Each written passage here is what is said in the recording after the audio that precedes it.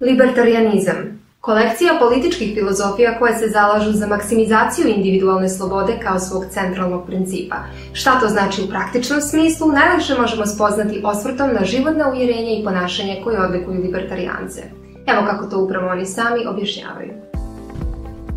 Libertarijanci žive po principu ne agresije. Moralnom uvjerenju po kome niko nema pravo inicirati silu protiv drugih ljudi, njihovog vlasništva, uraditi krađu ili prevaru. Biti libertarijanac znači preuzeti odgovornost za svako svoje djelo i svaku svoju riječ. Biti libertarijanac znači imati težnju da nisi zavistan od države. Libertarijanci smatraju da je privatno vlasništvo esencijalno za slobodno i prosperitetno društvo, a da je sve ono što je u rukama države podložno nebrigi, pljački i prekomjernom iskorištavanju. Libertarijanci su pobornici kapitalizma, potpuno slobodnog tržišta. Za libertarijance je absurd tražiti dozvolu za stvaranje novih vrijednosti, a pogotovo od onih koje ne proizvode ništa. Libertarijanac živi od vlastitog rada, služenjem drugih ljudi posredstvom dobrovoljne kooperacije na tržištu.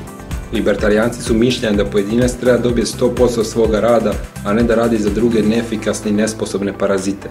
Libertarijanci se često ne slažu s onim što drugi govore idejama koje zastupaju, ali uvijek brane njihovo pravo da kažu ono što misle.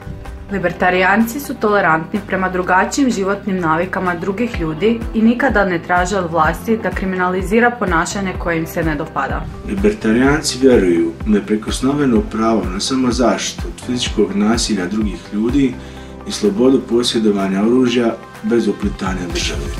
U rješavanju životnih problema libertarijanci uvek biraju slobodu. Bez obzira na to koliko ljudi je demokratski glasalo za prisilu.